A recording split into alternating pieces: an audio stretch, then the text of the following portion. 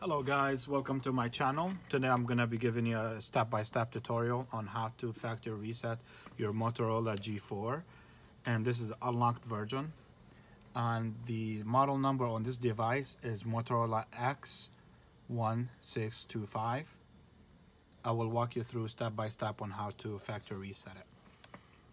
What you'll need to do is you will need to hold the power button along with the volume down key so you press these two at the same time. When this uh, screen comes up, you will need to use the volume down key to scroll down.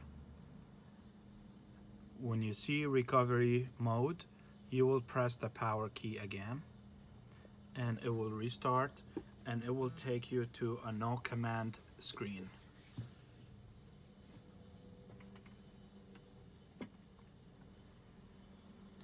When you see the screen, you will need to do as followed to get to the recovery screen.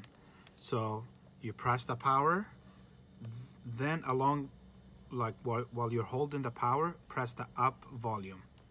When this um, recovery screen um, comes up, you will need to use the volume down key to scroll down to where it says wipe data slash factory reset. You press the power key to confirm it. Then you scroll down to the third option, user data plus personalized content, and you press the power key. Now it's wiping the device. Once it's done, it will pull up the menu again. Then you want to scroll down to where it says wipe cache partition and you want to click the power. Then down to yes, the power key once more now the phone is factory reset it so what you'll need to do you want to reboot the device and it's gonna pull up on the setup menu. Just like when you first buy the device it's to be on the setup menu where you have to connect to Wi-Fi and you may re you may have to re-enter your Google account info. And um, this is it guys.